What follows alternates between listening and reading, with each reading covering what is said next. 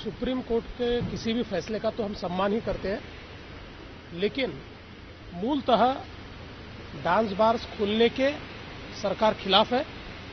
हमको ये लगता है कि डांस बार खुलने नहीं चाहिए। चूँकि सुप्रीम कोर्ट ने फैसला दिया है तो हम जितने हमारे सामने कानूनन विकल्प है, ये सारे विकल्पों को तलाशेंगे।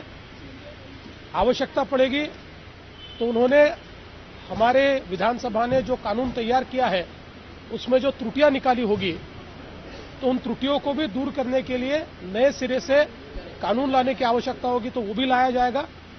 और हम ये प्रयास करेंगे कि एक और सुप्रीम कोर्ट के फैसले का सम्मान हो, वहीं दूसरी ओर, जिस डांस बार को पूरे महाराष्ट्र ने नकारा है, और महाराष्ट्र के दोनों सभागृहों ने, जिसको एक मत से कानून तैयार करके बंद किया है, वो शुरू न हो, ये मूलता हमारा मत है।